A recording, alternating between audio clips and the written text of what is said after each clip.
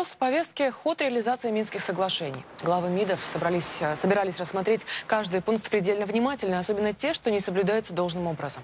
Планируется также отдельная встреча Сергея Лаврова с Лораном Фабиусом. Темы двустороннего диалога не раскрываются, но очевидно, что речь в ходе этих переговоров будет идти о самых актуальных проблемах, в том числе об украинском кризисе. Найти пути ее решения сегодня пытаются и в Минске. Там проходит заседание трехсторонней контактной группы и также в закрытом режиме. В переговорах впервые принимает участие новый спецпредставитель ОБСЕ по Украине, австрийский дипломат Мартин Сайдик. Его кандидатуру утвердили накануне в Вене. Бывший президент Украины впервые за полтора года дал интервью западным СМИ. Вопросы в основном касались событий на Майдане. В беседе с журналистом британского телеканала BBC Виктор Янукович назвал случившееся трагедией украинского государства, а вину за кровопролитие возложил на радикалов, которые решили устроить переворот и захватить власть. Ковыряя ситуации в Донбассе, Янукович отметил заслуги России в достижении Минских соглашений и призвал все стороны конфликта безоговорочно их выполнять. Разговор коснулся и Крыма. То, что произошло, уже это произошло. Значит, Крым есть часть есть России. сегодня уже как факт, который случился. Но сегодня идет война. Сегодня говорить о Крыме, что мы вернем Крым как? Войной? Еще война нужна. Давайте тогда говорим про Донбасс. Янукович аргументировал, за выход из состава Украины проголосовали 90% жителей Крыма. Здесь стоит отметить, из англоязычного текста интервью эти слова бывшего украинского президента телекомпания исключила. Один пытались вывести на Украину. Купе проводника поезда Москва-Одесса таможенники обнаружили 10 тормозных дисков от самого популярного в мире сверхзвукового боевого самолета.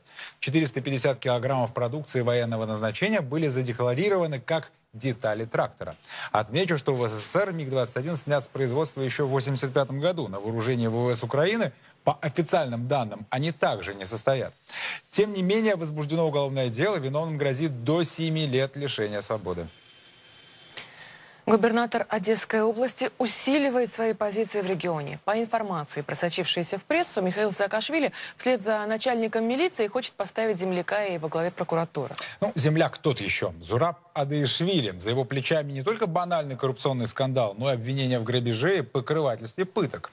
Виктор Черногуз о порочном послужном списке. Их Михаилу Саакашвили людей. Видимо, именно потому экс-президент Грузии решился на необычный кадровый ход. Назначить человека, объявленного в международный розыск прокурором, то есть блюстителем закона. Или у его патрона не получается. А Даишвили со своими схемами, со- по своей технологии, он терроризировал бизнес. Так это же автоматически получается терроризировать бизнес. Это означает, что ты тем самым управляешь политическими процессами. То бишь направляешь эти потоки в нужное русло. В Грузии Адиашвили запомнился нестандартной работы с предпринимателями до начисления налогов, предложение сделать добровольные взносы в бюджет, почти легальная система откупа от тюремного заключения. Авторство всех этих схем как раз и приписывают бывшему министру юстиции. В Одессе с ее портом и огромным нефтеперерабатывающим заводом Адиашвили будет где развернуться. Они оба известные шоумены. И, в принципе, иначе как э, яркую пиар-акцию это воспринимать достаточно сложно. Ну, помните, как Саакашвили активно кушал собственный галстук. Поэтому э, пение украинских песен, хождение в народ, думаю, что ровно этот же инструментарий будет и у прокурора. Впрочем, за плечами Адиашвили есть дела и посерьезнее. Нынешние грузинские власти официально обвиняют его в присвоении чужого имущества. Кроме того, возможного прокурора Одессы подозревают в причастности к пыткам.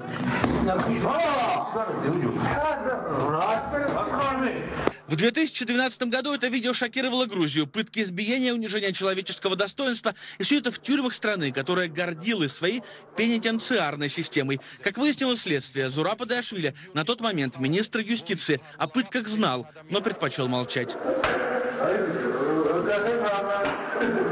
Еще один пункт обвинений в адрес Адиашвили – организация силового разгона акции оппозиции. По этому делу он проходит вместе с Михаилом Саакашвили.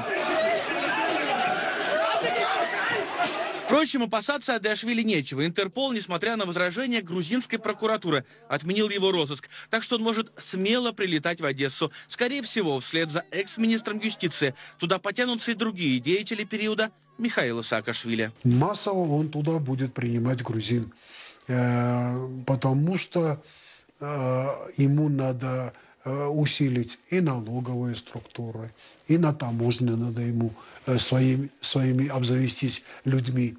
А, так, а таких людей у него было здесь, в Тбилиси. И действительно, на должность начальника милиции Одесской области уже назначен Георгий Лорд Кипанидзе. С приходом на пост прокурора Адиашвили фактически вся правоохранительная система региона окажется под контролем Михаила Саакашвили. Почему именно с этого, а не с решения, например, экономических проблем, начал свои одесские реформы губернатор? Вопрос, кажется, риторический. Отношения общественного порядка останутся исключительно под юрисдикцией Киева. Минпромторги уточнили, ответный шаг на принятое Евросоюзом решение вопрос не экономический, а скорее политический.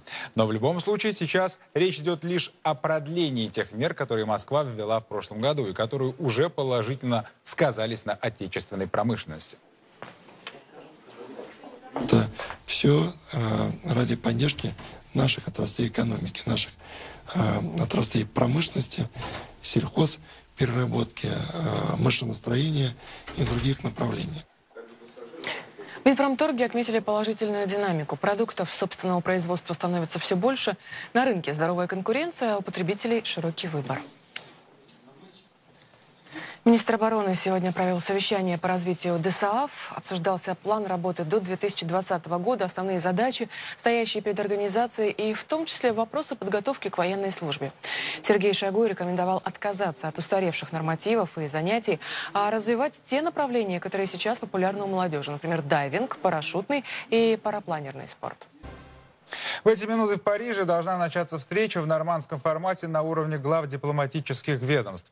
Министр иностранных дел Германии Франк Вальтер Штайнмайер заявил, что режим прекращения огня в Донбассе нарушается гораздо чаще, чем еще две недели назад. Активность киевских силовиков отмечается повсеместно. Это не только обстрелы. Ополченцы говорят о перегруппировке украинской армии и подготовке к самым активным действиям. Дмитрий Кулько передает с линии соприкосновения. Окруженный с трех сторон блокпост армии ЛНР держит под замком главный транспортный ворот Луганска. С начала перемирия здесь было подозрительно тихо, говорят ополченцы. И вот после перегруппировки силовики начали прощупывать оборону. Уже и поддержку запросили. Сейчас заехали какие-то отморозки. Вот позавчера по нам вывели танк. Кстати, вчера. Они позавчера начали стрелять, вчера вывели танк, потом начали там голые показывать и тому подобное. Справа находятся у нас поляки на 11 часов. Это Желобок.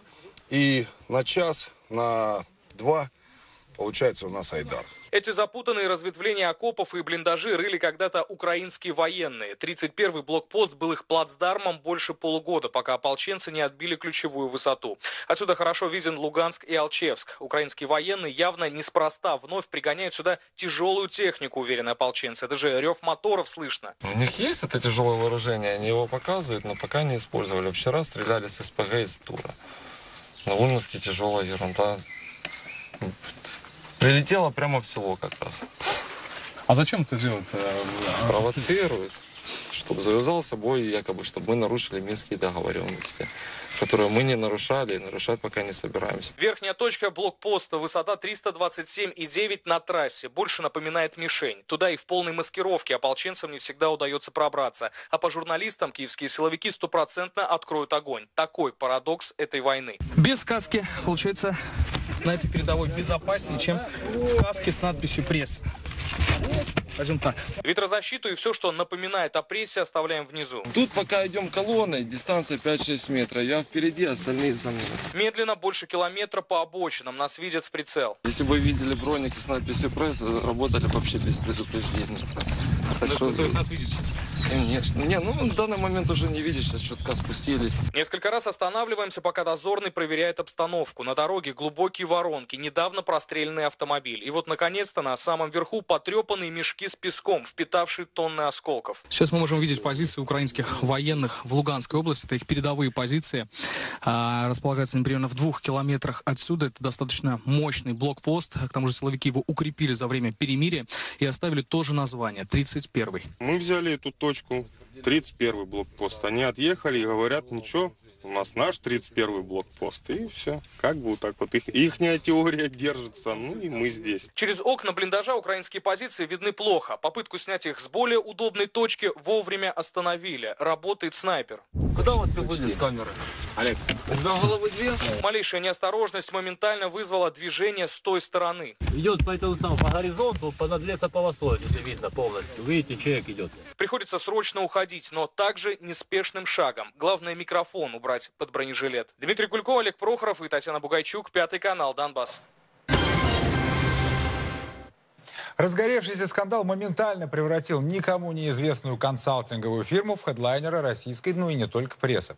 Причиной стала публикация памятки для туристов, уезжающих в Крым. В этом документе путешественникам настоятельно рекомендуется получить разрешение Украины, а на территории полуострова строго соблюдать законы незалежный. Игорь Максименко разбирался, что это глупость или провокация. До сегодняшнего дня об обществе защиты прав потребителей общественный контроль было мало что известно. Некоммерческая организация, дающая юридические советы и проводящая экспертизы качества. Внезапно незаметная контора оказалась в центре скандала. Причина – написанная обществом памятка для туристов, уезжающих в Крым. Памятка многословна и пестрит всевозможными правовыми ссылками, в основном на украинские законы и распоряжения. По мнению составителей, Крым и Севастополь – оккупированные территории, а значит, россияне там должны подчиняться законам незалежной. Территория Крыма является территорией Украины, даже несмотря на то, что была принята поправка а, в Конституцию, включающую те- территорию Крыма и города Севастополь в Российскую Федерацию. А на самом деле вот это вот включение, на наш взгляд, является юридической фикцией с точки зрения международного права. Михаил Аншаков, один из авторов памятки, уверен, россиянам руководствоваться надо не конституцией своей страны, а некими международными договорами. Потому-то и советуют отдыхающим. В Крым можно ехать только с разрешения украинских властей и только через украинские погранпункты. Недвижимость в Крыму можно покупать, но регистрировать ее надо, согласно рекомендации, исключительно на материковой части Украины. Любое несогласованное с Киевом движение – преступление. человека, которого до этого никто не слышал и не знал, сейчас стал медийным человеком номер один, потому что его глупость с точки зрения здорово, здравомыслящего человека, россиянина, комментируют все. Политическую позицию автора туристического наставления можно легко проследить. Известен Аншаков не только как защитник прав потребителей, но и как ярый сторонник Майдана. Открываем его страницу в соцсети. Вот Аншаков с единомышленниками призывает россиян вступать в комитет солидарности с Майданом.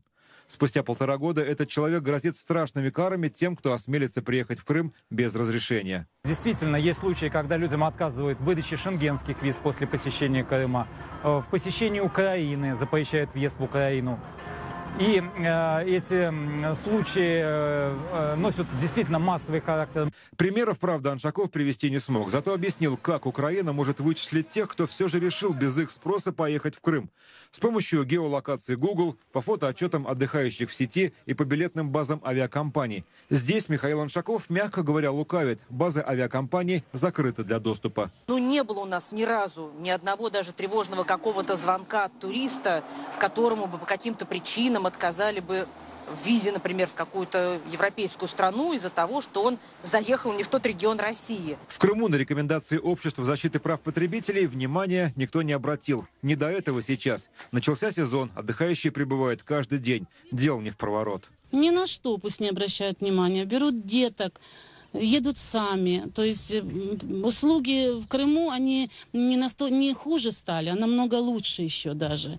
То есть э, поэтому россиян приглашаем всегда. Они были для нас как бы самыми родными всегда. После появления скандальной памятки многие уже задумались, своим ли делом занимается общественный контроль и какие цели преследует, чего помимо дешевого пиара хочет добиться. В этой ситуации всегда будут предатели, всегда будут люди, которые, рядясь в маски якобы правозащитников, людей, которые отстаивают правду, будут вредить своей стране. Депутаты Госдумы отправили в Генпрокуратуру запрос на проверку действий Михаила Аншакова по статье о призывах к нарушению территориальной целостности Российской Федерации.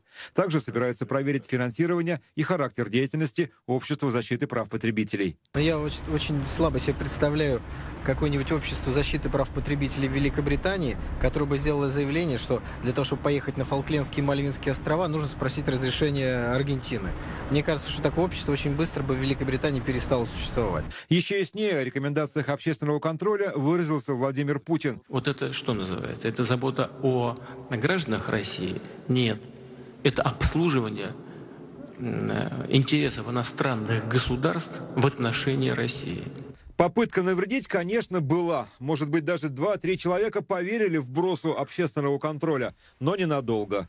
Было привлечено, наоборот, внимание и общественности, и здоровых средств массовой информации к этому вопросу. В результате значительно более широкий круг людей получил информацию о том, что в Крым можно и даже нужно ехать. Так что скандала раздуть не удалось. Рекомендациями общественного контроля путешественники, конечно же, пользоваться не собираются. В нашей стране достаточно организаций, которые могут дать гражданам действительно полезные советы. Игорь Максименко, Надежда Ткачева, Пятый канал.